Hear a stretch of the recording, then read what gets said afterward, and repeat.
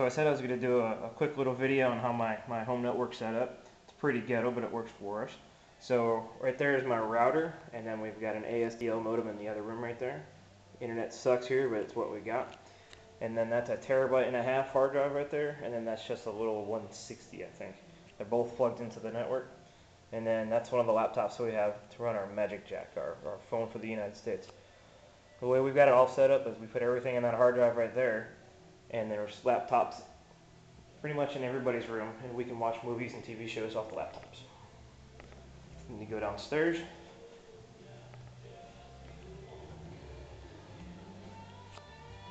And downstairs, and there's my son. And we've got pretty much two setups. We've got just a normal TV screen, and then we've got the movie screen. The movie screen and the projector are completely separate from this setup over here.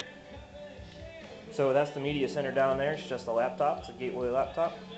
And it does a pretty good job. We don't have any media stored on the laptop. It's all streamed from the, the drive upstairs. And the program we're using right now is called Xbox Media Center. It seems to work really well. And you can do pretty much all you want with all the music and stuff like that. And it's all free and it's very hackable. Right now I'm just scrolling through some of the songs.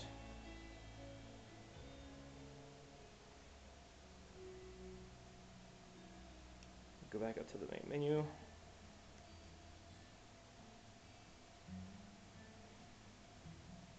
You see I just there's a ton of music on there. Just a ton. So let me go ahead and put this down and we'll give you a quick demo.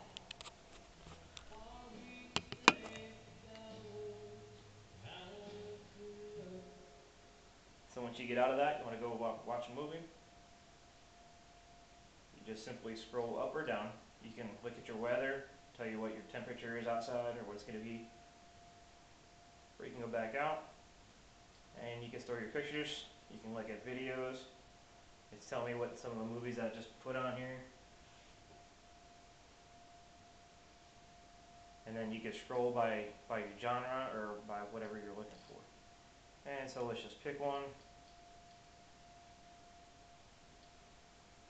And there's a list of all our animated movies that we have on there.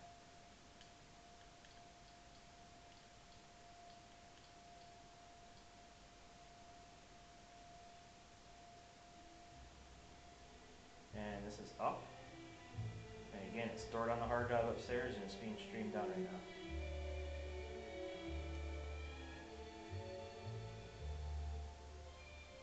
Works pretty good. Back out of that, again, you can scroll back through any of these other ones and it gives you a quick synopsis of what's going on while it still plays a movie in the background.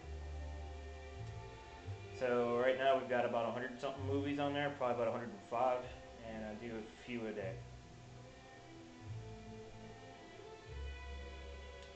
That's it. I hope you like it.